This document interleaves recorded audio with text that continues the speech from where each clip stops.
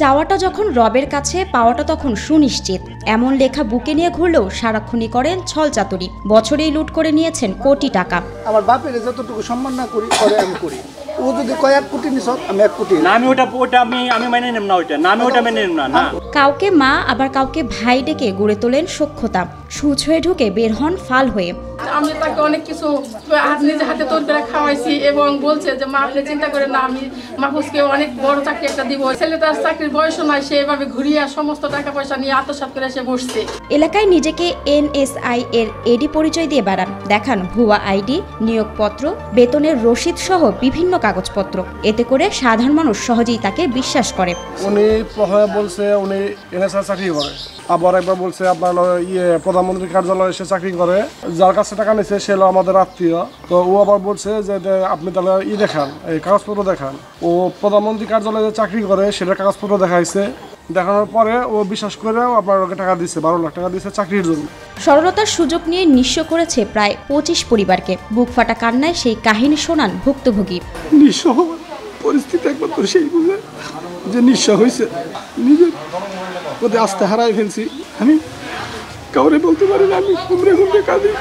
টাঙ্গাইলের মির্জাপুর উপজেলার চরঘগি এলাকার বদর উদ্দিনের ছেলে হারুনুর রশিদ। স্থানীয় যুবকদের চাকরি দেওয়ার কথা বলে অন্তত পঁচিশ জনের কাছ থেকে দশ লাখ থেকে চব্বিশ লাখ টাকা পর্যন্ত হাতিয়ে নেয়। অন্য একজনের কাছ থেকে স্বর্ণের ব্যবসার কথা বলে সত্তর লাখ টাকা নিয়ে পালিয়ে যায়। চাকরি বাবদ সে আমার কাছ থেকে টাকা নেয়। সর্বপ্রথম হচ্ছে ছয় লাখ, তার পরবর্তীতে ছয় লাখ, তার পরবর্তীতে পঁচিশ হাজার। এই হচ্ছে টোটাল বারো লাখ পঁচিশ হাজার টাকা সে পর্যায়ক্রমে আমার কাছ থেকে নেয়। এ সবই অকপটে স্বীকার করে নেন হারুনুর রশিদ। চাকরির কথা বলে মাহফুজ ভাইয়ের কাছ থেকে বারো লক্ষ টাকা নিয়ে চাকরি বাবদ নিয়েছিলাম। কিন্তু টাকাগুলো যত সময় দিতে পারি নাই চাকরি?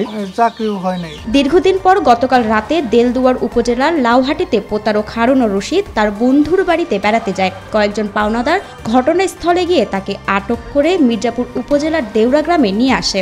উনি পাঁচটার দিকে আসছে ওনার ফ্রেন্ডের সাথে দেখা করতে। আমরা গোপন তথ্য পেয়ে ওনার কাছে আসছি।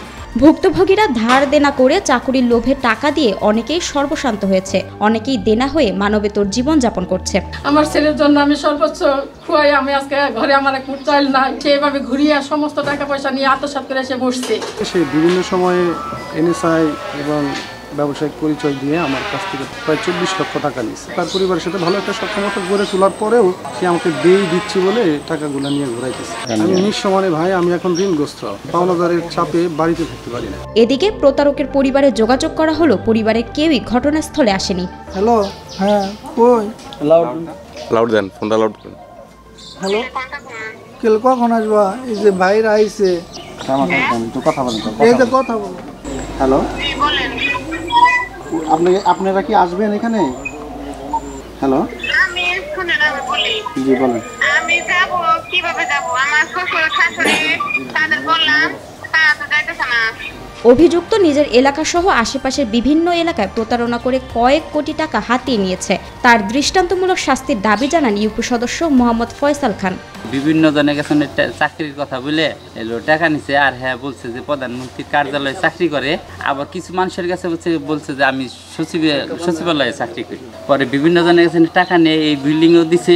এখন আমরা পুলিশের কাছে হ্যান্ড ওভার করব। তাছাড়া আমাদের কোনো উপায় নাই। আর যারা যারা বাদী, তাদের টাকা নিছে, তারা উনি অভিযোগ করলে আইন অনুসারে যে ব্যবস্থা হব, সেই শাস্তিটা জানে আর কঠোর শাস্তি জানে